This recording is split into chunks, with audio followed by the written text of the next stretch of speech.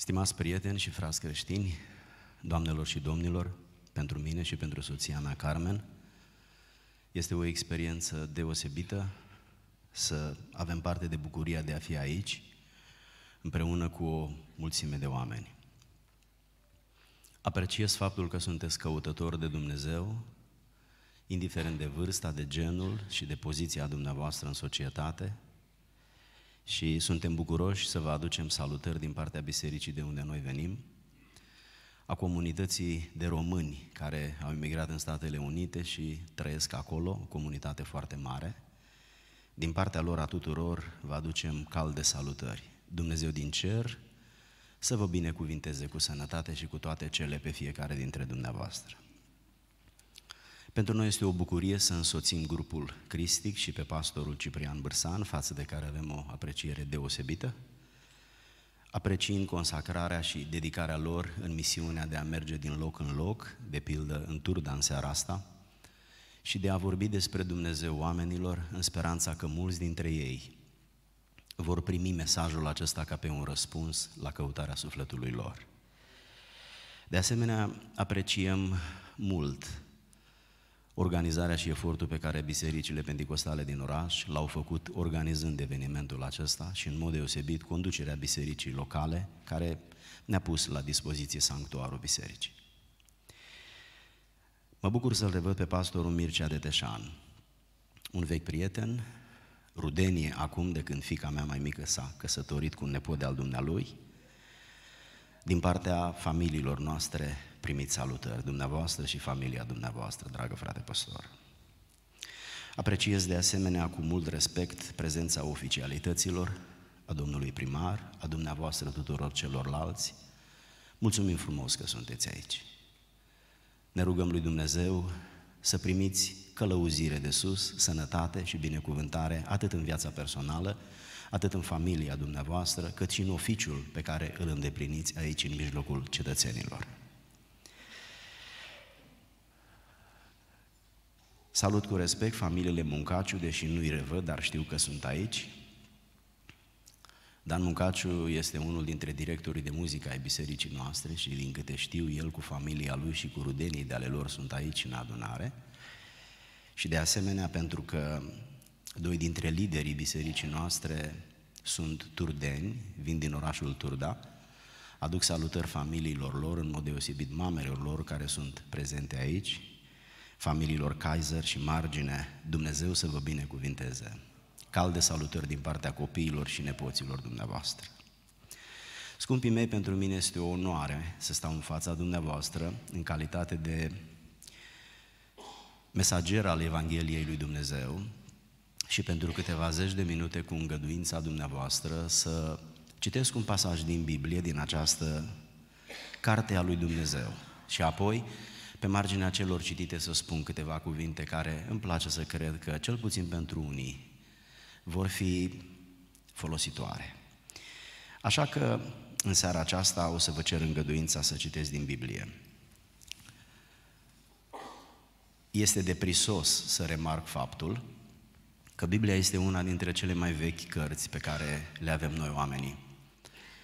Când Gutenberg, cu câteva sute de ani în urmă, a inventat tiparnița în Germania, Biblia a fost cartea pe care el a ales-o să fie prima carte tipărită în cinstea autorului ei și din respect pentru autorul ei. Această carte este de-a dreptul unică și nu am de gând să pledez explicând asta, dar totuși o să spun două, trei cuvinte. Cartea aceasta este unică și pentru faptul că este scrisă într-o perioadă de 1500 de ani. Ușor de înțeles că nicio carte nu poate fi scrisă într-o perioadă de 1500 de ani, că autorul nu trăiește atâta timp. Însă cartea aceasta îl are ca autor pe Dumnezeu. 40 de persoane au fost aleși să fie scriitori. Cei mai mulți dintre ei au trăit în epoci diferite, nu s-au cunoscut unul cu altul. Această carte este o adevărată capodoperă a literaturii universale. Ea este o bibliotecă în sine prin faptul că e compusă din 66 de cărți. Vechiul Testament, care însumează primele 39 de cărți, sunt scrise în limba evreiască și vorbesc despre istoria unui popor, pe care unii îl iubesc, pe care alții îl disprețuiesc. Următoarele 27 de cărți sunt scrise în limba greacă, într-un dialect popular numit koine, Ei bine, cartea aceasta vorbește despre începuturile creației, vorbește despre oameni și vorbește despre Dumnezeu. Se încheie cu o carte numită Apocalipsa, adică descoperire, ridicarea vălului, care vorbește despre vremurile din urmă. Noi nu putem contesta istoria, pentru că este o evidență a trecutului. Noi putem contesta viitorul. Din nefericire avem dreptul să-l contestăm. Ultima carte vorbește despre viitor, despre cum se va încheia istoria planetei Pământ și ce se va întâmpla dincolo de evenimentul ăsta. Este ușor de înțeles că Biblia este cea mai citită carte din lume. În urma unui sondaj, unei statistici care a făcut făcută cu, câteva, cu câțiva ani buni în urmă, la întrebarea dacă ați fi exilat pe o insulă unde ați fi singur locuitor și ați avea dreptul să luați o singură carte, care ar fi cartea pe care ați alege-o? A câștigat detașat Biblia. Este cartea care a schimbat cele mai multe vieți. După ce m-am născut la șase luni, părinții mei au divorțat. Am rămas în grija mamei și mama, alegând să se căsătorească, a plecat din localitate și m-a lăsat în grija mamei ei. Am ajuns la 21 de ani, fără să am frați și surori, decât această bunica mea oarbă care m-a crescut și m-am căsătorit cu Carmen la câteva luni. Am intrat într-un loc uh, ca și acesta și am privit cu uimiri la ce se întâmpla acolo, fiind prima mea experiență, prima mea interacțiune cu Biblia, cu un predicator și cu o biserică evanghelică. În seara aceea L-am ales pe Isus să fie mântuitorul meu personal, convins de cele spuse din Biblie și vrând să fac un lucru, măcar un lucru pentru sufletul meu. În seara aceasta sunteți aici oameni ca mine, muritori care între maternitate și mormânt trebuie să faceți multe alegeri. Una dintre ele ce aveți de gând să faceți cu Isus Hristos, care este trimisul lui Dumnezeu, Fiul lui Dumnezeu, este Mesia care a venit pe pământ să aducă mântuire pentru toți oamenii. Indiferent de starea noastră materială, indiferent de pregătirea noastră intelectuală sau profesională, toți respirăm, bem apă și mâncăm, sunt nevoi fundamentale. Ele nu au legătură cu situația noastră, ci cu condiția noastră, cu natura noastră. Mântuirea se încadrează și ea în această categorie de lucruri. Oamenii au nevoie de mântuire ca de aer, apă și hrană. De ce? Pentru că nimeni nu vrea să meargă în iad. Iadul este o realitate spirituală. Umanismul ne face să nu mai vorbim de lucrurile negative, dar lucrurile negative continuă să existe. Putem să nu vorbim de divorț, dar divorțul continuă să existe. Putem să nu vorbim de moarte, de cancer, dar toate acestea sunt realități. Ne ferim de ele, dar nu prea putem să ne ferim. Cu șase ani în urmă, soția mea a trecut printr-o experiență dramatică, a avut cancer. A fost un timp greu, dar bunul Dumnezeu a avut milă. Slăvit să fie Dumnezeu! Vă spuneam puțin mai devreme că o să citesc un scurt pasaj, pe marginea căruia o să spun câteva cuvinte. Doar din respect pentru Biblie, vă rog frumos să vă ridicați în picioare. Mulțumesc mult și apreciez.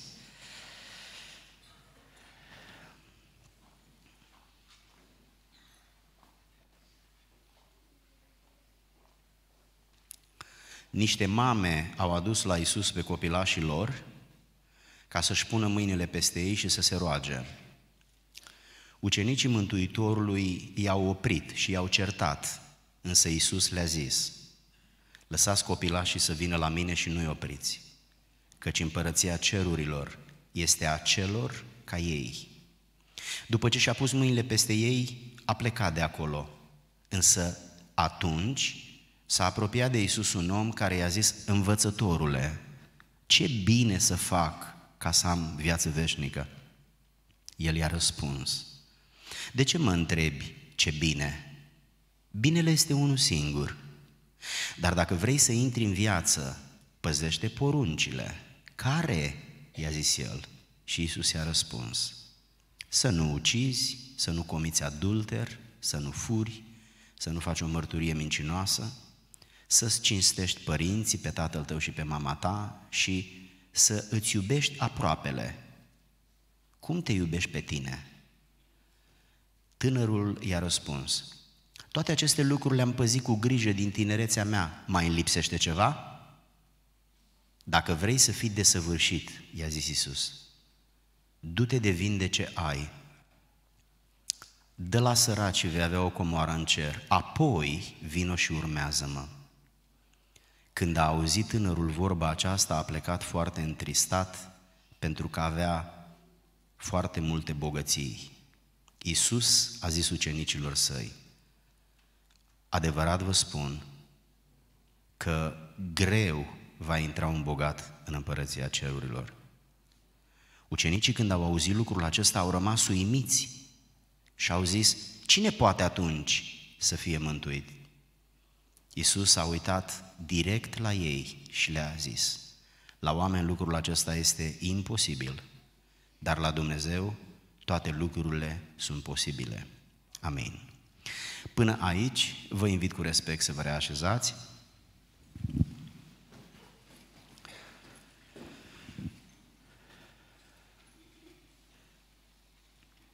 Stimați prieteni, având privilegiul să mă adresez dumneavoastră, retrăiesc experiența pe care eu am avut-o ascultând primul predicator vorbind din Biblie și raportându-mă la experiența aceasta, deși nu mai sunt acolo, sunt aici de data asta, ca la experiența pe care eu am avut-o atunci. Probabil că unii dintre dumneavoastră veniți de obicei aici și este un loc ob- obișnuit, cunoscut pentru dumneavoastră. Știți tot ce se întâmplă. Însă eu nu făceam parte din categoria aceasta de oameni. Împreună cu soția mea, eram acolo pentru prima oară, exact așa cum unii dintre dumneavoastră, foarte probabil că sunteți aici de prima dată. Probabil că nu vă simțiți foarte confortabil, uh, nefiind obișnuiți cu genul acesta de întâlniri. Așa că în seara aceasta am să încep plecând de la experiența Mântuitorului Iisus Hristos, care a fost pentru 33 de ani pe pământ. Diferit de noi, el a, avut o exper- el a avut o existență anterioară și nu doar anterioară, eternă și infinită. Noi când ne naștem, ne concepem în momentul acela, de fapt cu aproximativ 9 luni înainte. Noi ne naștem din tata și mama. Iisus Hristos a fost absolut o excepție incredibilă, de-a dreptul imposibilă și inexplicabilă. El s-a născut doar din femeie, însă și mai greu de înțeles este faptul că femeia era fată. Dacă îmi permiteți să mă exprim direct, era fată virgină. Niciun medic din lume nu poate fi de acord cu această realitate. O fată care este virgină și care n-a avut niciodată o relație cu un băiat nu poate să nască. Nimeni nu poate să creadă lucrul ăsta. Atunci când vorbim despre Dumnezeu, Dumnezeu face lucruri care la nivelul lui sunt obișnuite, dar la nivelul nostru sunt imposibile. La fel s-a întâmplat când El a murit și după ce a murit a înviat. Să fim serioși, cum să învieze cineva? Viața lui a fost plină de miracole, pentru că la nivelul la care este Dumnezeu și tot ce face El la nivelul acesta de noi sunt văzute ca evenimente miraculoase, imposibile, incredibile, inexplicabile. Încercăm să ne explicăm inexplicabilul, dar sigur că nu reușim. Inexplicabilul nu poate fi explicat. Definiția unui miracol este un eveniment pe care nu-l poți explica. Pentru că este dincolo de logică. Hristos a venit în lumea noastră în felul acesta pentru multe motive. Unul dintre ele este ca să evite păcatul adamic sub incidența căruia se naște fiecare copil care vine în lumea asta. Dacă el s-ar fi născut sub păcatul adamic, ca noi toți care ne-am născut în păcat, n-ar mai putut fi mântuitorul oamenilor. Mântuitor înseamnă salvatorul oamenilor, persoana care a venit să ne salveze dacă cea mai mare nevoie a noastră ar fi fost banii, Dumnezeu ar fi trimis un banchier. Dacă cea mai mare nevoie a noastră ar fi fost vindecarea, Hristos ar fi trimis un medic. Însă cea mai mare nevoie a noastră este iertarea de păcatele pentru care Dumnezeu ne-a dat în urmărire generală. Păcate care ne-au făcut dușmanii lui Dumnezeu. Niște ființe care trăim departe de Dumnezeu, deși s-ar putea să trăim foarte aproape de religie. Dumnezeu este o ființă, nu este o religie, nu e un nume, nu e o idee, nu e o filozofie. Dumnezeu este o persoană, însă fiind spirit, nu se vede, nu poate fi perceput cu ochii, după cum o grămadă de alte fenomene din viața noastră nu pot fi văzute. Ce nu e materie nu poate fi văzut, dar asta nu înseamnă că este inexistent. Hristos a venit în lumea noastră ca să fie mântuitorul, să ne ia păcatele și să ne mântuiască, adică să ne ierte de păcatele noastre. Biblia spune că după ce omul moare o singură dată urmează judecata și după judecată oamenii se împart în două categorii, iar una dintre aceste două categorii merg în iad. Pentru nimeni nu e tentant asta. Știu că noi trăim într-o generație unde lucrurile acestea par depășite. Vă pun o întrebare puțin indiscretă, dar dacă nu sunt depășite, ce ziceți? Noi credem că Dumnezeu nu există, dar dacă există dumneavoastră, ce părere aveți? Noi credem că Biblia nu este adevărată, dar dacă este adevărată, noi credem că iadul și raiul sunt povești, dar dacă nu sunt povești, ce dovezi avem că sunt povești? Ce dovezi avem că Dumnezeu nu există? Ce dovezi avem că Biblia nu e adevărată? Vreți să vă gândiți puțin și în felul ăsta? Haideți să revenim la bărbatul care l-a căutat pe Isus. Observați, vă rog, că el a așteptat până când Isus a hotărât să plece de acolo. Mântuitorul a vrut să plece după ce s-a rugat pentru niște copilași aduși de mamele lor. Mamele lor au știut că copilașii lor au nevoie să primească rugăciunea din partea lui Isus, pentru că rugăciunea nu este o liturghie, nu este o formă religioasă, ci e un mod prin care Dumnezeu îi binecuvintează pe oameni. Binecuvântare însemnând orice lucru bun. Și în momentul în care Isus a vrut să plece, bărbatul acesta a profitat de momentul ăsta și vrând să iași în evidență, s-a ridicat, a alergat în fața lui Isus, a îngenuchiat și a început să-i vorbească spunând, învățătorule, priviți vă rog care este profilul lui psihologic. Biblia spune că era tânăr.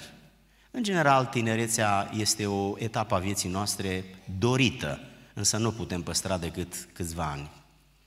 Biblia ne spune de asemenea că era bogat. Din nou, un mare privilegiu. Și apoi înțelegem că era un om inteligent. Probabil că multe alte lucruri mai pot fi spuse despre el, însă aș vrea să observăm cum îl caracterizează Biblia pe el. Biblia surprinde faptul că el vine la Isus și îi pune o întrebare care nu are legătură cu banii, nu are legătură cu filozofia, nu are legătură cu viața de pe pământ, ci pur și simplu are, o legătură, are legătură cu viața de dincolo. Câți dintre noi dedicăm o jumătate de oră din zi pentru viața de dincolo? Foarte puțini oameni. Pentru noi viața este aici. Bucuriile și necazurile uh, compun viața noastră. Uh, tot ce facem, investim în astăzi și poate în mâine.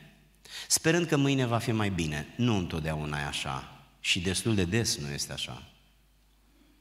Însă omul acesta a venit să caute ceva ce trece dincolo de mormânt, dincolo de viața materială. De ce a avut el această preocupare este foarte greu de spus. Însă a venit și a pus întrebarea Mântuitorului. Ce să fac ca să primesc viață veșnică? Observați în primul rând că omul acesta se gândește la cel mai important lucru pentru un om. De ce este cel mai important? Pentru că ce este veșnic nu se termină. Dacă, ar fi de, dacă cineva ar alege un lucru temporar și un lucru etern, nu e așa că e ușor de înțeles că noi toți am alege ce este etern? El a întrebat ce să fac să moștenesc viața veșnică. Viața umană, materială de 70-80 de ani o avea, chiar dacă nu fi ajuns el până la 70-80. Dar el a întrebat despre viață veșnică. Câți oameni din generația noastră au preocupare pentru viață veșnică? De ce nu ne mai gândim la viață veșnică? Nu ne place să trăim veșnic? Avem dovezi că chestia asta este ceva mistic, uh, religios, neadevărat? Câți dintre noi am făcut studii pe caz și am ajuns la concluzia în urma unei cercetări obiective că viața veșnică este o bazaconie? Câți? Ce știință se ocupă cu viața veșnică care ne-ar ajuta pe noi să identificăm dacă este adevărată sau nu. Ce părere aveți? Sunt cinstite întrebările astea sau nu? Nu e ușor să fii subiectiv în viață, dar dacă reușești să fii, ai parte de multe binecuvântări. sau de mult succes.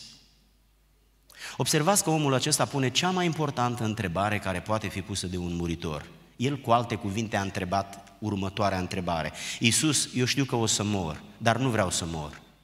Eu vreau să trăiesc veșnic. Spunem, cum să trăiesc veșnic? Adevărul este că eu am aceeași întrebare în sufletul meu. Vă spun sincer, nu vreau să mor. În același timp știu că o să mor. Există viață după moarte? Unii spun da, alții spun nu. Ce dovezi au cei care spun da că există viață după moarte? Ce dovezi au cei care spun nu, că nu există viață după moarte? Nu știu dacă aveți chef să vă gândiți la lucrurile astea, poate că nu vreți să vă gândiți la moarte, dar indiferent că ne gândim sau nu, să știți că este la un pas de fiecare dintre noi. Și dacă îmi permite să fiu direct, probabil și puțin incomod, însă o să mă străduiesc să nu mai fac asta pe parcursul vorbirii mele, singurul lucru de care putem fi siguri este faptul că într-o zi vom muri. Nu e nicio noutate. Mai sigur decât de acest lucru nu putem fi siguri de altceva. Observați că bărbatul acesta are o întrebare. Întrebarea lui vizează eternitatea, nu temporarul. Apoi, se întâmplă că el poate să pună această întrebare celei mai potrivite persoane care ar răspunde la această întrebare. Cui să-i pui această întrebare? Dacă mergi la un medic, te trimite la plimbare. Dacă mergi la un avocat, nu spune, domnule, nu mă ocup cu așa ceva. Unde să mergi să pui întrebarea asta, domnule? Ce specialist răspunde la această întrebare? Observați, el a mers la Fiul lui Dumnezeu care a trăit pe pământ 33 de ani aproximativ. Cea mai potrivită întrebare a pus-o cea, cele mai potrivite persoane. Și știți care este partea bună a problemei? A primit cel mai bun răspuns. A primit cel mai bun răspuns. Iisus i-a spus ce trebuie să facă. De foarte multe ori am avut întrebări la care oamenii n-au știut să răspundă și am fost extrem de frământat. Cât de mult m-aș fi bucurat să mă pot întâlni cu Isus și să-i pun întrebarea la care oamenii nu știau să răspundă. Însă omul ăsta a primit răspuns. Din nefericire, se împodmolește aproape de sfârșit. Cea mai bună întrebare, cea mai bună persoană să-i răspundă, cel mai bun răspuns primit și totuși refuză să facă ceea ce trebuia. Ce rost, ai, ce rost are să întrebi dacă nu ești dispus să aplici? De ce te interesează un lucru dacă atunci când îți este explicat spui, lasă-mă, domne, în pace cu treaba asta? De ce întrebi cât costă dacă n-ai de gând să cumperi? Da, ești plictisit, oricum ai de stat prin zonă vreo două ore și veri să sprezi vremea? Se poate. Omul acesta însă a fost interesat. Și Hristos și-a făcut timp de el, deși era grăbit. Dumnezeu își face timp de oameni atunci când oamenii aleg, nu vă supărați, viața e compusă din alegeri. Viața este compusă din alegeri. Uneori, făcând prostii, încercăm să convingem pe cei din jurul nostru că n-a fost alegerea noastră, a fost doar, doar o nefericită circunstanță. El a ales să pună întrebări și Isus a ales să-i răspundă. Însă la un moment dat i-a ales să nu aplice răspunsul lui Isus. Știți ce a spus Isus? Dacă ești interesat să fii plăcut lui Dumnezeu, păzește poruncile. Ar fi trebuit să spună mulțumesc. Apreciez foarte mult că ți-ai făcut timp pentru mine. O să studiez care sunt poruncile și o să mă rog lui Dumnezeu să mă ajute să le păzesc. Dacă se oprea aici, ar fi fost cinstit. Pentru asta a venit, să pună întrebări și să primească răspunsuri. Dar a vrut un pic să braveze. Acolo erau mulți oameni și ar fi fost bine ca toți să știe că pe lângă bogat este și inteligent și nu numai inteligent, este și moral, este, este un om religios. Și știți ce face? Care porunci? întreabă el. De data aceasta Iisus și-a dat seama că omul acesta nu mai este interesat de un răspuns, ci este interesat să braveze în fața oamenilor și să expună imaginea lui extraordinară, să iasă în evidență. Și Isus începe să-i explice și îi dă câteva exemple din decalog. Dumnezeu a dat trei mari daruri oamenilor. Unul dintre ele este Decalogul, l-a dat la muntele Sinai din Egipt, aproximativ o mie și ceva de ani înainte de Hristos. Al doilea mare dar l-a dat prin Isus Hristos în Ierusalim. Al treilea mare dar l-a dat prin Duhul Sfânt la cinzecime, zece zile după înălțarea lui Isus la cer. Aceste trei mari daruri se constituie în trei mari repere ale creștinismului. Nu există creștinism fără valorile, fără principiile, fără legile lui Dumnezeu. Ce ar fi societatea noastră fără legi? Nu mai imaginați-vă o simplă intersecție, fără nicio regulă. Păi ne-am, ar muri, ar fi plin de cruci în intersecția aia. Există reguli. Ori stop, ori cedează, ori un sens giratoriu, ori semafor. Dar sunt reguli, domnule. Peste tot sunt reguli. Nu, nu ne plac regulile, dar ele sunt necesare atunci când există mai mult decât un om pe planeta Pământ. Noi relaționăm unii cu alții și avem nevoie de reguli, avem nevoie de, ați observa, și gardul e tot o regulă. Ea spune, gardul ăla spune că aici se termină proprietatea mea și dincolo e proprietatea unei alte persoane. Și asta tot o regulă este. Dar să revenim. Observați, vă rog frumos, că el complică lucrurile și Isus știe că acum nu mai are nevoie de informații, ci doar vrea să iasă în evidență în mijlocul oamenilor. Și îi dă câteva exemple, spune câte ceva din primele patru porunci care reprezintă relația omului cu Dumnezeu pe verticală și apoi câteva din următoarele șase porunci care reprezintă relația omului cu omul. De pildă să nu poftești. Asta nu are legătură cu Dumnezeu, ci are legătură cu mine și cu dumneata. Zice, nu pofti măgarul, un exemplu al vremii de atunci, măgarul era foarte obișnuit, ca și acum mașina, nu? Dar putem să trecem mai departe, să spunem, nu pofti soția. Nu-i pofti omului, ce să zic, meseria, casa, altceva. De, ce a vrut să spună Dumnezeu aici? Omule, încearcă să te mulțumești cu ceea ce ai și nu invidia pe nimeni. Nu încerca să nu suporți pe cineva pentru că are mai mult succes decât tine. În lume sunt oameni mai înalți și oameni mai mărunți. Nu poți să fii tu singura persoană de pe fața pământului. Asta are legătură cu relația și cu gestionarea dorințelor. În general, când cineva are mai mult, ești tentat să nu-l suferi, chiar dacă nu recunoști. Trebuie să fii un om de mare caracter ca să nu invidiezi pe cei de deasupra și să nu disprețuiești pe cei de jos. Dar să nu transformăm predica din seara aceasta în morală, revenind, observați ce afirmație urâtă face omul ăsta. Știți ce îi spune lui Isus?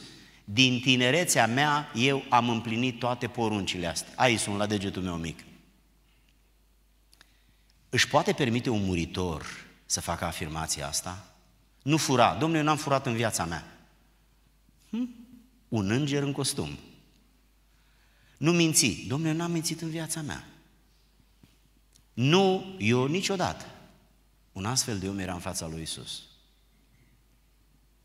Și Isus, ca să-i dea o lecție, se raportează la condiția lui materială și ca să-i demonstreze că nu e adevărat ce a spus mai devreme, îi spune următorul lucru.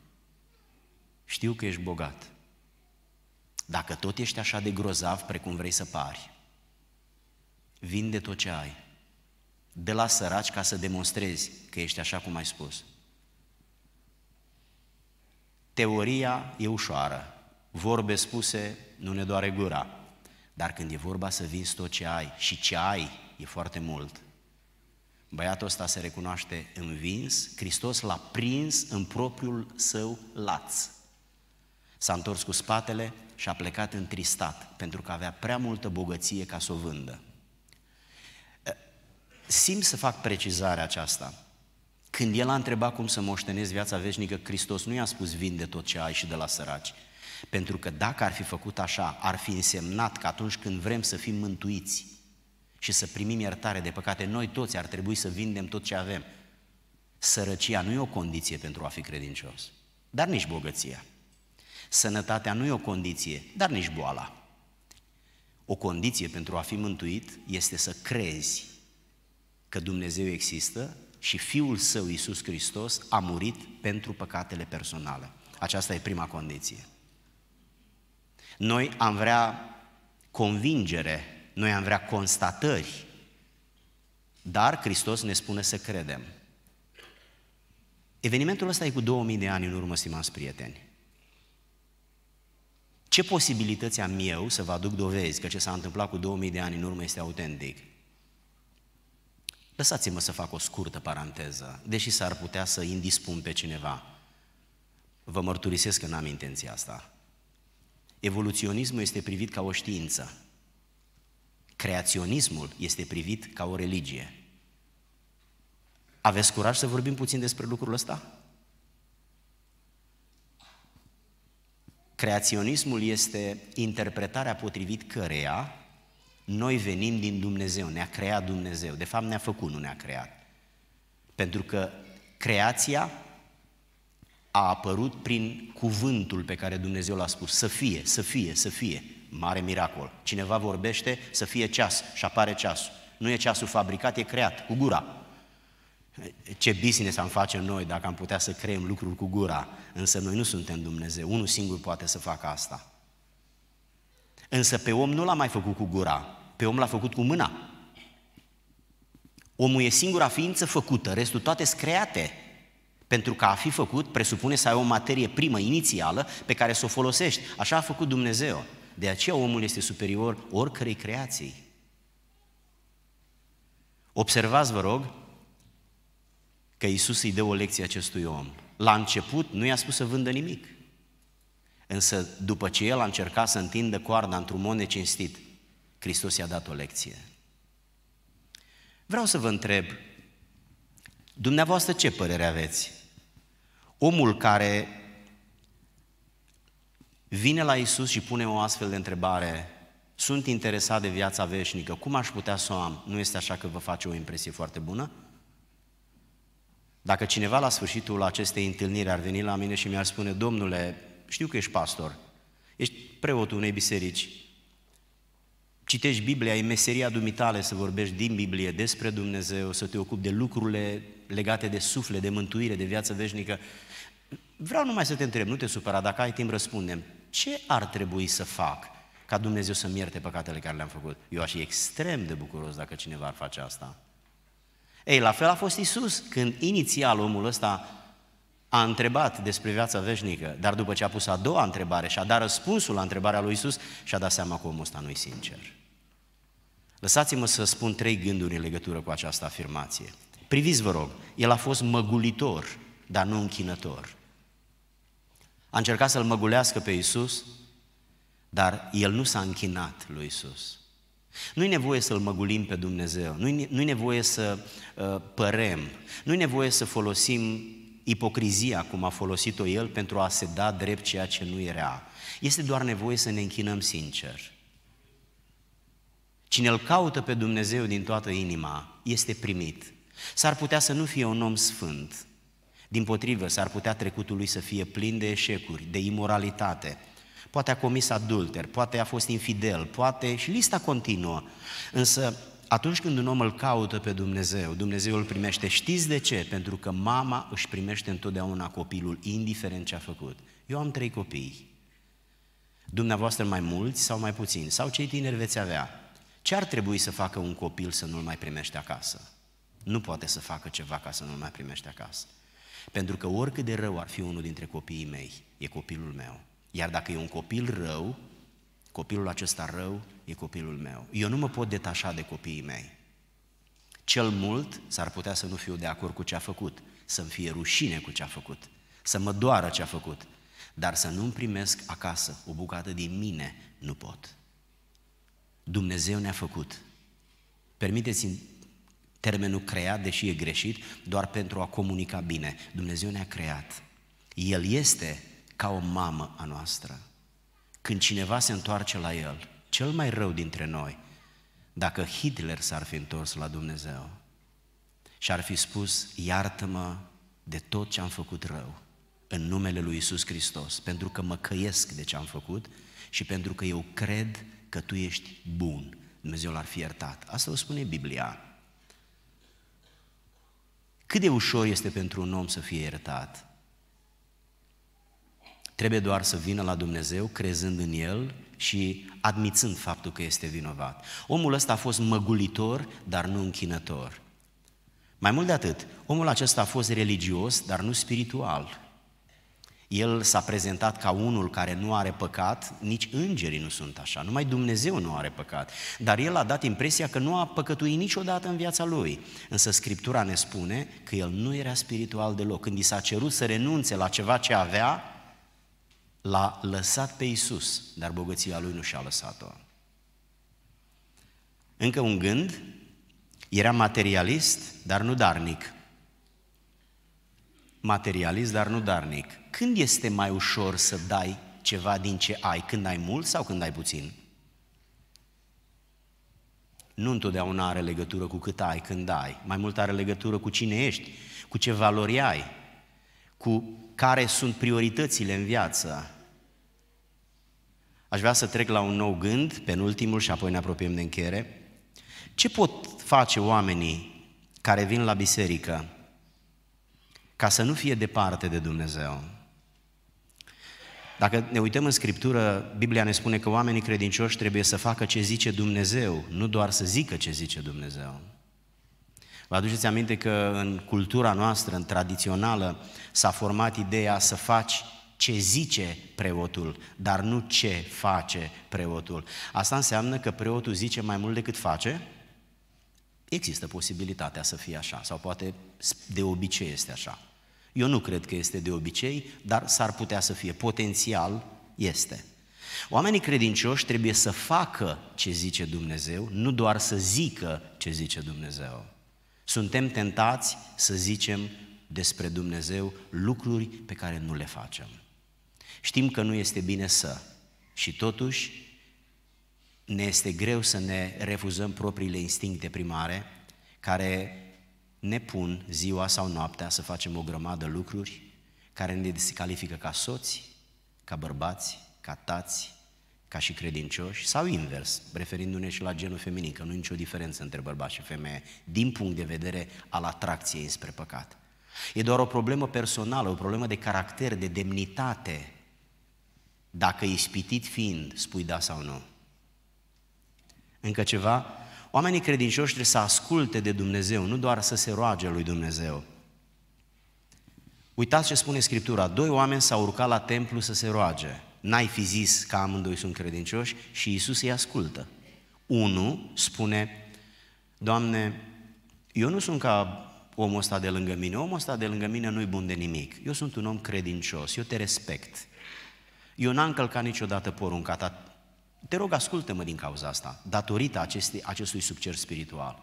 El tace și începe celălalt să se roage și spune, Doamne, eu sunt un prăpădit de om. Am venit să mă rog, dar eu am păcătuit, mă mustră conștiința, mă simt așa rău că am venit înaintea ta murdar. Dacă poți, iartă-mă. Și pleacă amândoi. Și Hristos face un comentariu, spunând, mai degrabă păcătosul ăsta se va întoarce acasă iertat de Dumnezeu decât bățosul ăsta care a venit să braveze în fața lui Dumnezeu. Observați, suntem tentați să vorbim frumos despre noi și nu întotdeauna frumos despre alții. Credeți-mă, stimați prieteni, doamnelor, domnilor, Dumnezeu ne cunoaște inima, cunoaște adevăratele noastre motivații, știe unde am fost azi noapte și ce am făcut. El este ființa care vede prin pereți, prin metal, prin noapte, prin tot și prin nimic. Pentru că este Dumnezeu și are capacități pe care noi nu ni le putem imagina. Noi nu ne putem imagina că cineva este diferit de noi. Nu ne ajută imaginația. Nu avem cuvinte pentru a-L defini pe Dumnezeu.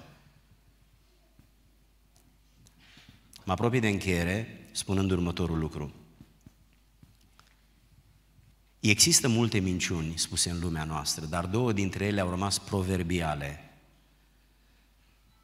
Prima minciună a fost spusă când erau doar doi oameni pe pământ, Adam și Eva.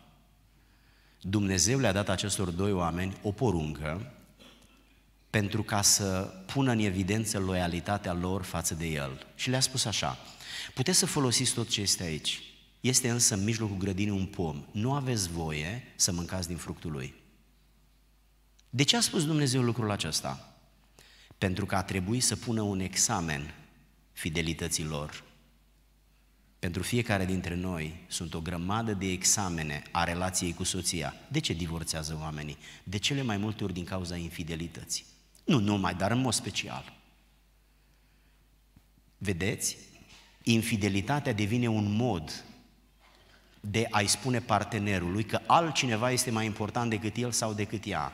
Dumnezeu a așezat un pom în mijlocul grădinii și le-a spus oamenilor, nu aveți voie să mâncați din fructul acesta.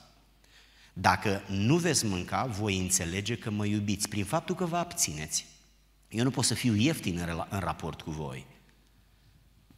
Și a venit șarpele, care era de fapt diavolul în formă fizică, materializat, și a spus, puteți să mâncați din fructul oprit.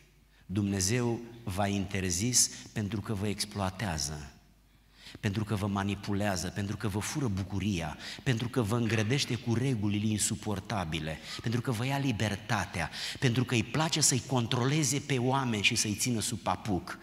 Ascultați-mă, a spus diavolul, aveți dreptul să păcătuiți. Este o alternativă păcatul. Este dreptul oricărui om. Faci ce vrei cu viața ta, faci ce vrei cu trupul tău, faci ce vrei cu banii tăi, faci ce vrei cu resursele existenței tale. Nu are dreptul Dumnezeu să spună ce să faci și ce să nu faci. Adevărul este că absolutul de pe vremea bunicilor s-a transformat în relativismul din vremea noastră. Nu mai există astăzi absolut. Absolutul e gustul meu. Nu mai este nimic bun sau rău, ci eu hotărăsc ce e bun sau rău pentru mine, indiferent cum e pentru alții. Păi nu vă uitați la lumea care trăim. Spun uneori exemplul ăsta pentru că pur și simplu este de-a dreptul ieșit din comun. În Canada a existat un bărbat de vârsta mea, respectiv 56 mm, de ani, căsătorit cu trei copii. La un moment dat a acceptat ideologia aceasta în legătură cu genul, cu sexualitatea, în general LGBT, și i-a intrat în cap că e fetiță, că este de gen feminin. Dar el era soț, era bărbat, în toată regula, ca toți bărbații. Că bărbații nu sunt decât un fel, bărbați. Și pur și simplu i-a intrat în cap că e femeie. Mulți au mentalitatea aceasta. Nu vreau să vorbesc în niciun fel ironic sau disprețuitor, vorbesc doar despre o realitate ca să o dau drept exemplu, altfel nu mi-aș permite. Și la un moment dat, văzându-se fată, femeie, a spus că are șase ani. Sunt o fată de șase ani, așa s-a declarat. Și, evident, a divorțat, soția lui a rămas singură cu cei trei copii și cineva, o familie din Canada, a înfiat, a adoptat fetița de șase ani, care era de fapt un bărbat de 56. Și s-a dus la grădiniță. Ce vă spun eu este știre, știre publică, că doar nu-i ceva ce am văzut numai eu. Intrați pe internet și vă convingeți dacă e autentic ce spun eu sau nu. Și s-a dus la grădiniță, stimați prieteni. Un bărbat de 56 de ani, îmbrăcat ca o fetiță de grădiniță, s-a dus la grădiniță cu fetița mea de 6 ani și cu fetița dumitale de 6 ani. Acum vă întreb, asta este lumea în care noi trăim? În Suedia, în Stockholm, aripa tânără a partidului care guvernează a avut o mișcare de protest pentru trei zile și cereau două lucruri guvernului. Unu, să legalizeze pedofilia, adică să ai relații intime cu copii. Și doi, să legalizeze necrofilia, adică să ai relații cu morți, cu oameni morți, cu cadavre. Dom'le, am citit și am crezut că nu văd bine. Am mai citit, le-am potrivit, am stat și m-am gândit și mi-am dat seama că e o știre. Oamenii au nevoie de lucrurile astea. Acum vă întreb, sunt eu radical dacă lucrurile acestea mi se par dincolo de ce s-a întâmplat în istorie până acum? Nu vreau să devin ridicol și nici să vă pun, în situ- vă pun imaginația să colinde în lucruri nepermise, dar prin natura slujbei mele particip când copiii se nasc și când oamenii mor. Întotdeauna când mă apropii de un, de un sicriu, parcă nu e cel mai potrivit lucru de care îmi place să mă apropii. Te apropii așa cu o oarecare rezervă, dar să-ți permiți să te gândești că ai alege să ai o relație intimă cu cadavru, părerea mea personală este că întrece absolut orice formă de discernământ. Aceasta este lumea în care trăim. Stimați prieteni, ce fel de lume este lumea în care trăim? Ce fel de ideologie bate la ușa inimii noastre? În situația asta e normal să zâmbim când citim Biblia. E normal să zâmbim când citim Biblia. Cea mai mare minciună, prima mare minciună din istorie a fost când diavolul a venit și i-a spus omului, ai dreptul să păcătuiești. Fă-o, e dreptul tău. Pentru că nu o să ți se întâmple nimic. Nu o să ți se întâmple nimic, nu există consecințe pentru că alegi să păcătuiești. Și după ce a păcătuit, dintr-o dată a început să le fie rușine unul de altul, deși au fost goi tot timpul. S-au ascuns de Dumnezeu, Dumnezeu a venit, a blestemat pământul, a blestemat șarpele, pe om nu l-a blestemat, l-a pedepsit, pe bărbat și pe femeie în mod specific. Și apoi i-a deportat din Eden. Dumnezeu este într-o stare de adversitate cu omul. Omul este păcătos și Dumnezeu nu suportă păcatul. Oamenii vor merge în iad pentru că iadul este o formă de pedeapsă, pentru faptul că oamenii au ales să treacă pe roșu la intersecția vieții. Suntem de acord cu poliția și cu judecătorul care condamnă sau pune să se plătească o amendă pentru cineva care trece pe roșu cu mașina? Dacă soția mea trece pe verde, perpendicular, în timp ce omul ăsta beat sau treaz trece pe roșu cu mașina, îmi omoară nevasta nevinovată. Dar ce importanță are ca dacă atunci când mor, mor vinovat sau nevinovat? Mai are vreo importanță? Nu. E normal să fie pedepsit omul care trece pe roșu? Da. Numai oamenii au dreptul să pedepsească pe încălcătorii de lege sau și Dumnezeu?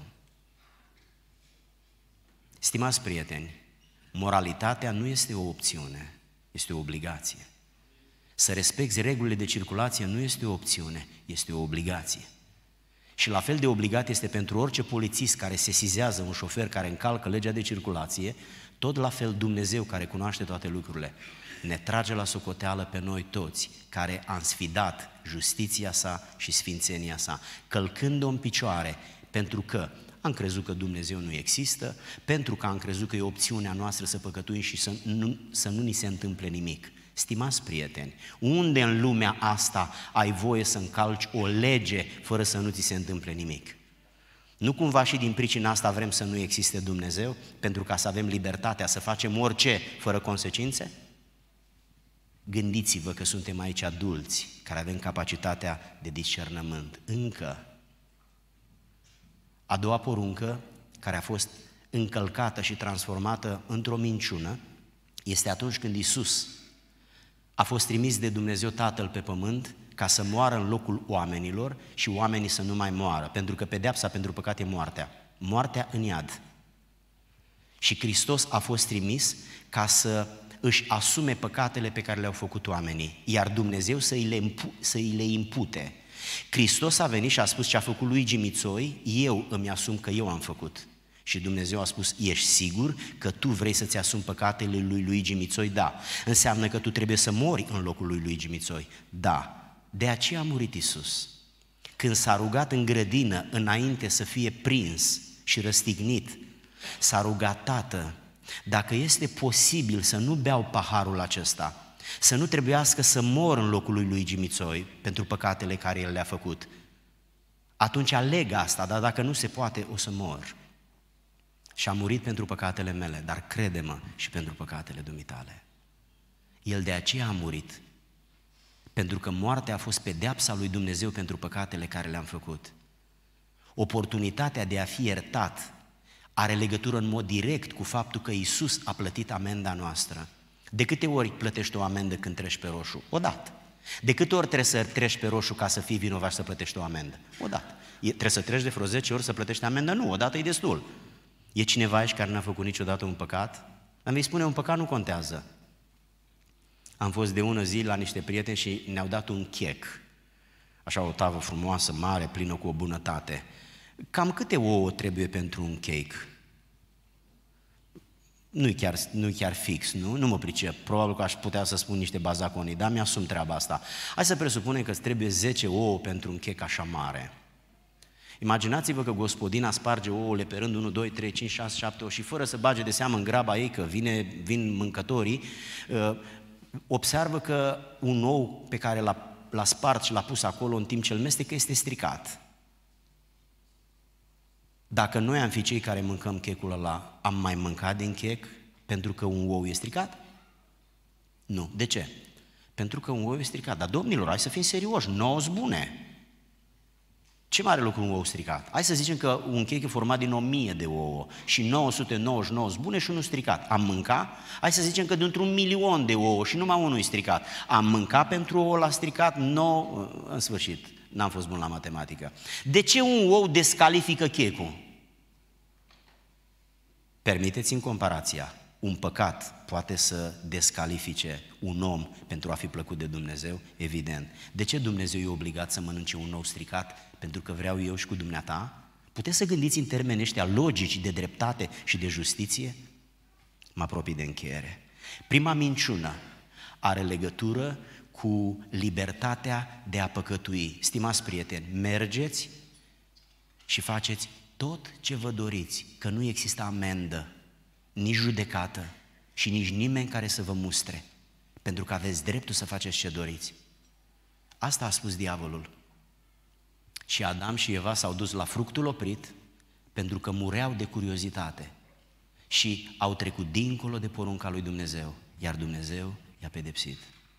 Mă întreb, eu, în 56 de ani, de câte ori m-am apropiat de fructul oprit? De fapt, nu de câte ori m-am apropiat, de câte ori am luat din el. Prin sutele de posibilități prin care un om poate trece pe roșu la intersecția vieții. Cu gura, cu mintea, cu inima, Permiteți-mi să vă aduc aminte de un amendament pe care l-a făcut Dumnezeu. De fapt, sunt vreo 5-6 făcute. Dar eu nu mai unul spun, spre exemplu, Matei capitolul 5, Hristos spune așa în versetul 27, știți că în Vechiul Testament s-a spus să nu comiți adulter, dar eu în Noul Testament vă spun, numai dacă te uiți la o femeie și o poftești în inima ta, în timp ce te uiți, o poftești. Observați două verbe, a, a vedea și a pofti. Când vezi, nu-i păcat, dar când iei imaginea ți-o însușești personal și imediat editezi un film în care ești acolo alături de ce vezi, în momentul acela Hristos spune a păcătuit, e un adulter moral. Cât de greu este să fii plăcut lui Dumnezeu într-o lume atât de mizerabilă. Noi venim din lumea asta, stimați prieteni. Și am ajuns într-un loc unde aproape că ne speriem gândindu-ne cât de exigent este Dumnezeu. Minciuna este următoarea, fă de cap că nu există nicio consecință. Să nu fie raiul adevărat și iadul, să nu existe Dumnezeu, să murim ca animalele și să intrăm în neființă și să nu mai existe nimic, să fie cartea aceasta care a supraviețuit mii de ani în ciuda opoziției, cea mai urâtă carte din lume e Biblia, Niciodată un imperiile istoriei nu s-au luptat atât de mult împotriva unei cărți ca împotriva Bibliei. Aduceți-vă aminte numai de Ceaușescu. Să nu vorbesc de comunismul rusesc și corean, care astăzi probabil că e exponentul nebuniei cu privire la adversitate împotriva Bibliei. Iar al doilea, a doua minciună, este tot a diavolului și tot cu privire la oameni. Și spune următorul lucru. Nu este adevărat că dacă te pocăiești, vei fi iertat. Pocăința e o prostie. Nu e adevărat. Poți să te pocăiești cât vrei, că Dumnezeu nu te iartă. Prima minciună are legătură cu ce urmează să faci. A doua, cu ce urmează să nu faci. Pocăința, spune Dumnezeu, e modul în care noi ne restaurăm relația cu Dumnezeu. Uneori o supăr pe Carmen, soția mea. E adevărat că în ultimul timp nu mai supăr așa de des ca la început. Ca așa Așa este, când treci pe viață, mai, mai te corectezi. Și când o supăr, sau când mă supăr, dar de obicei eu o supăr, uh, a, întotdeauna mă duc și îi spun, te rog frumos să mă ierți. Și oricât de tare ar fi supărată, dacă nu în clipa aceea, după câteva clipe, dacă nu după câteva clipe puțin mai târziu, s-a împăcat. Dar trebuie să merg să-i spun, te rog să mă ierți, îmi pare rău pentru ce am făcut.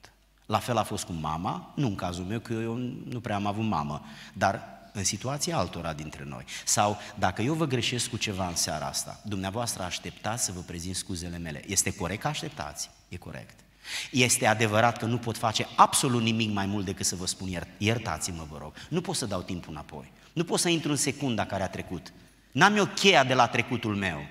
Dar pot să, să admit că v-am greșit, să-mi asum responsabilitatea și să mă, spunea bunica, să mă căciulesc, să mă smeresc, să mă umilesc și să spun iartă-mă. Aceasta este singura metodă pe care o au oamenii să restaureze relația cu persoana pe care a insultat-o. De ce credeți că mama merită să-i spui iartă-mă și Dumnezeu nu? Asta se numește căință. Iar pocăința e un cuvânt care vine din limba la slavonă și înseamnă să te duci la Dumnezeu și să-i spui, Doamne, iartă-mă pentru că am greșit în fața Ta. Câte păcate credeți dumneavoastră că face un om pe zi? Nu avem de unde să știm. Hai să spunem convențional trei. Opinia mea personală e că trebuie să fie un om mare ca să facă doar trei păcate pe zi. Trei păcate pe zi într-un an cât înseamnă? O mie. 56 de ani, 56 de mii. Când mă gândesc la un om care a trecut de 56 de mii pe roșu, de un om care a spart banca de 56 de mii de ori, de un om care a ucis 56 de mii de oameni, de un om care a făcut 56 de mii de fraude, de un om care, și puneți orice încălcare de lege aici, trebuie să accept că omul ăsta e ieșit din comună ăsta, merită împușcat. Vreți să mă credeți că eu sunt omul ăla? Nu-mi permis să spun că dumneavoastră sunteți celălalt. Dar așa ne privește Dumnezeu. Nu prea ne vine să credem că s-au adunat așa de multe. S-au adunat, stimați prieteni. Dumnezeu vede tot, știe tot și contabilizează. Nu pentru că vrea să ne prindă, ci pentru că vrea ca universul pe care l-a creat să-l controleze și să-l păstreze în dreptate. Prima minciună spune, fă de cap că nu există consecințe. A doua, nu te pocăi că nu se repară nimic prin faptul că te pocăiești. Închei cu ce am început. Aveam 21 de ani, așa cum spuneam, și am intrat în biserică din curiozitate. Predicatorul acela care mai târziu mi-a devenit profesor, rector la școala unde eu am învățat, a început să vorbească, spunând oamenilor de acolo din sală că Dumnezeu este drept și nu suportă păcatul. Însă nouă păcatul ne place. Este dulce cel puțin pe moment, Însă păcatul acesta ne pune în opoziție cu Dumnezeu, iar dreptatea lui Dumnezeu care funcționează ne va pedepsi. Iar pedeapsa este iadul, așa se numește închisoarea unde merg oamenii care l-au sfidat pe Dumnezeu. A vorbit în detalii despre lucrul ăsta. Și apoi a spus că Isus a venit să-i scape pe oamenii care urmau să fie trimiși în închisoarea iadului. Și el a mers în locul lor în închisoarea aceea, pentru ca să-i poată scăpa pe ei, el fiind avocatul, mântuitorul, iertătorul, scăpătorul oamenilor. A vorbit aproximativ 45 de minute. Spre sfârșitul vorbirii lui am, a început să se contureze în conștiința mea un sentiment care se adâncea de vinovăție. N-am fost ieșit din comun niciodată, am fost tot timpul cel mult un om normal. Însă un om normal e un om păcătos înaintea lui Dumnezeu. Și am început să mă simt murdar. Mi-am adus aminte de înjurăturile mele, de tot ce am făcut până la 21 de ani. M-am simțit murdar, pentru că de data asta nu mă comparam cu morala lui mama sau lui bunica. Pentru bunica era rău doar dacă făceam două, trei lucruri. Dumnezeu intră în detalii. Și de cealaltă parte l-am văzut pe Dumnezeu atât de pur, atât de curat, atât de bun, am crescut fără părinți, n-am avut nicio șansă la viață. Nimeni nu mi-a dat nicio șansă, toată lumea m-a disprețuit. În satul în care m-am născut, părinții nu-i lăsau pe copiilor să se joace cu mine. Știți din ce cauză? Doar pentru că n-am avut tată. Puteți să-mi răspundeți, cu ce am fost eu vinovat că n-am avut tată? N-a fost destul de mare pedeapsa că n-am avut tată? Că m-a bătut toată lumea. Că o iarnă întreagă mâncam boabe fierte și beam ceai, că nu aveam altceva? că a trebuit să plec în clasa noua de la liceu ca să mă duc să mă angajez într-un șantier naval ca sudor la vapoare, pentru ca să-mi câștig existența, că trăiam cu 150 de lei pe care bunica mea lua pensie de la CAP-ul, am ales eu să cresc fără mamă și fără tată, să n-am o îmbrățișare, să n-am un genunchi, să n-am pe care să stau, să n-am un tată pe care să-i spun, uite, m-a bătut ăla, eu aduceam mingea băieților de la, de la teren, eu le aduceam ghetele pe care le uitau acasă, dacă, dacă mă opuneam, toți mă băteau, eu eram singur, o bunică oarbă nu putea să-mi ia apărarea. De ce a trebuit să trec pe aici? Iar oamenii mă numeau vagabond, sunt cinstiți oamenii când fac treaba asta. Atunci când am citit Biblia, mi-am dat seama că Dumnezeu este ceea ce caut. Mi-am dat seama că dreptatea pe care o are El este ceea ce sufletul meu are nevoie. Toată copilăria mea a întânjit să mă căsătoresc și să nu divorțez niciodată cum a făcut tata. Să nu rămână în urmă unul sau mai mulți copii nevinovați, care tot timpul se poartă rușinea părinților lor, Oamenilor le place plăcerea, dar fug de responsabilități. Dumnezeu urăște nedreptatea. În seara aceasta, stimați prieteni, istoria nu s-a schimbat cu nimic. Doar alți componenți, numiți oameni, bărbați și femei, sunt pe scena istoriei. Însă lumea este aceeași. Suntem tentați să păcătuim, dacă se poate pe ascuns. Dar în fața lui Dumnezeu nu există ascuns, decât descoperit. Și toate păcatele acestea pe care le facem, El le vede și pentru toate trebuie să plătim. Iar închisoarea se numește iadul. În seara aceea, când predicatorul a întrebat, este aici cineva care se simte vinovat înaintea lui Dumnezeu? Este aici cineva care ar vrea să fie scăpat de această povară a conștiinței? Este aici cineva care n-ar vrea să-L aibă pe Dumnezeu ca dușman și iadul ca viitor? Credeți-mă că nu-ți trebuie multă minte să accepti că nu ai nevoie de pedeapsă. Am știu că de mine este vorba. Și predicatorul a spus, vreau să fac o rugăciune pentru omul ăsta dacă este aici. Am avut probleme să mă ridic și să-i spun eu sunt, pentru că mi-a fost rușine. Erau mai mulți oameni decât sunt aici. Eu eram pentru prima oară acolo. Mă gândeam, poate mă întreabă ceva omul ăsta dacă ies în față. Mă pune să spun de față cu toți oamenii ăștia ce s-a întâmplat. Mai bine îmi văd de treabă. Dar el a spus, ascultă-mă, unde o să te duci acasă fără Dumnezeu în timp ce El a vrut să te ierte, nu să te judece? În clipa aceea m-am ridicat, eram undeva acolo, am venit pe aici pe margine și am venit până aici în fața Lui. Era un pastor lângă el și omul a început să se roage. În seara aceea am avut o experiență, era o seară de duminică în București, în cartierul Rahova, Biserica Sebastian. În seara aceea am avut o experiență care mi-a dat mai mult decât posibilitatea să cred.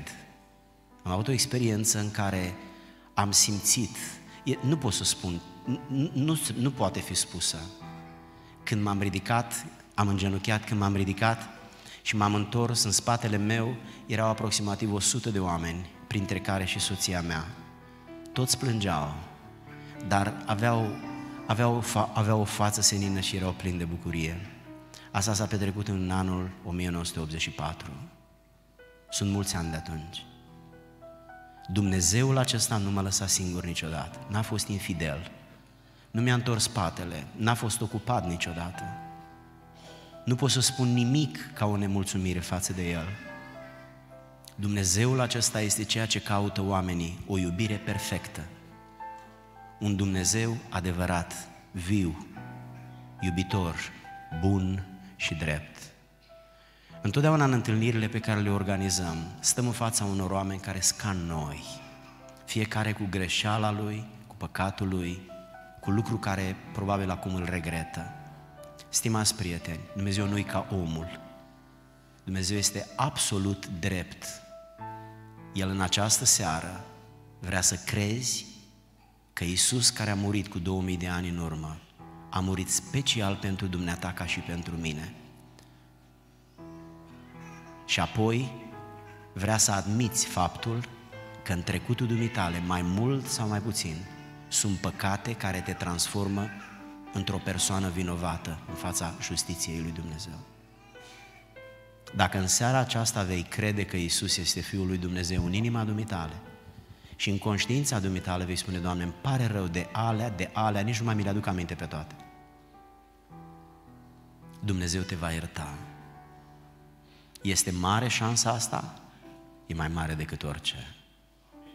Orice ai, poți pune mâinile pe piept la noapte și mâine dimineață mașina scumpă pe care o ai, poziția care o ai, vârsta pe care o ai, resursele pe care le ai, intelectuale, academice, profesionale, rămân ale copiilor și se ceartă pe ele. Mi-a tai un suflet. Mașina are o roată de rezervă, dar noi nu avem un suflet de rezervă, avem unul în acțiune. Și dacă acesta este murdar, există un loc al dreptății și unul al răsplății. Răsplătirea lui Dumnezeu se numește rai, iar pedeapsa lui Dumnezeu se numește iad. Dumnezeu nu e nedrept. El oferă oamenilor posibilitatea să scape de vinovăția lor. Legea nu ne permite posibilitatea asta. Dacă ești vinovat, te condamnă. În seara aceasta, omule, Dumnezeu care te-a creat și care te-a susținut până astăzi, te cheamă ca să te împaci cu El.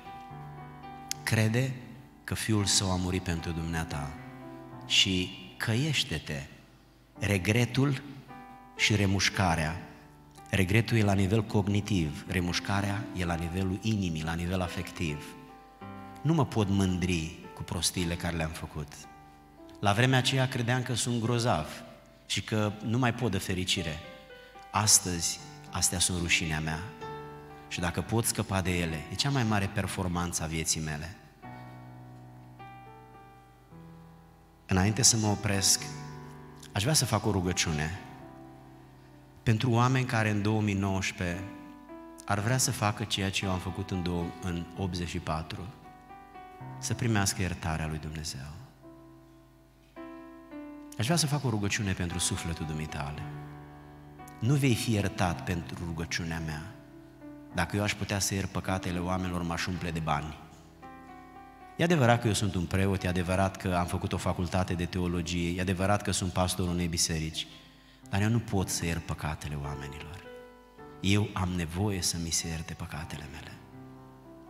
Pot însă să vă conduc la cineva care iartă păcatele. Numele Lui este Isus Hristos. Istoria e împărțită înainte de El și după El. Mahomet speră să ajungă în cer, Hristos vine din cer.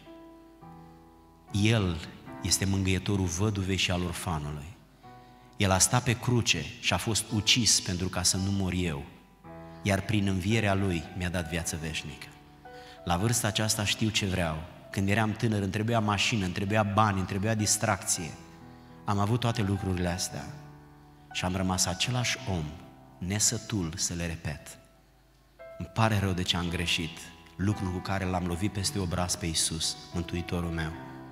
Însă în seara aceasta te rog, dacă ești și dumneata un astfel de om, pregătește-te să-i spui, Doamne, cred în Tine și îmi pare rău de ce am făcut. Vin la Tine și te primesc în inima mea. Ai milă de mine, te rog. Aș vrea să vă rog, doar pentru câteva clipe, dacă îmi permiteți îndrăzneala de a vă ruga lucrul ăsta, să vă plecați capetele și să vă închideți ochii, numai pentru câteva clipe. Gândește-te la faptul că Dumnezeu te iubește și în toată călătoria vieții dumitale au fost momente așa de grele, încât dacă El nu te-ar fi ajutat, te-ai fi oprit acolo.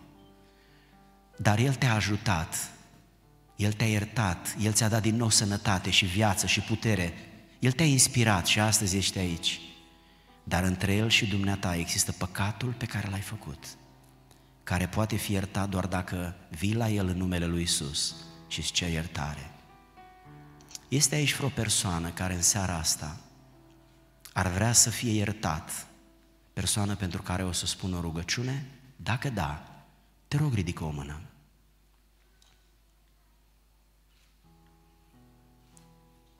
Mulțumesc. Este cineva la balcon în situația asta? Mulțumesc.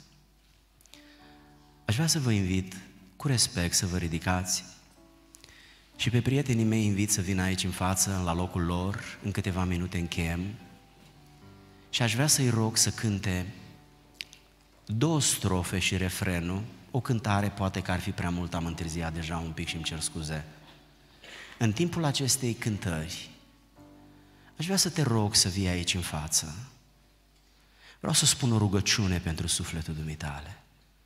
Iisus Hristos care a avut mâinile străpunse, și care a păstrat această carte până la noi, pentru ca să avem un etalon, nu o bănuială, te așteaptă ca să te ierte de păcat. Exact așa cum eu am avut nevoie ca această doamnă să-mi spună te iubesc și să nu-i fie rușine cu mine, față de o lume întreagă să spună eu iubesc pe bărbatul ăsta și vreau să trăiesc restul vieții cu el.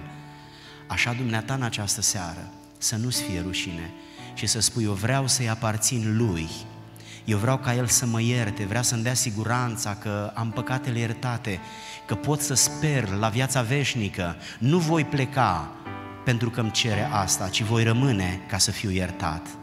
Aș vrea să vă invit pe cei de la balcon, pe cei din sală, să vă luați câteva clipe, exact acum când începe muzica, să veniți aici în față. O să fac doar o rugăciune pentru dumneavoastră și apoi o să încheiem întâlnirea noastră. Vă aștept să veniți. Veniți la Dumnezeu care vă iubește și care este gata să vă ierte păcatele.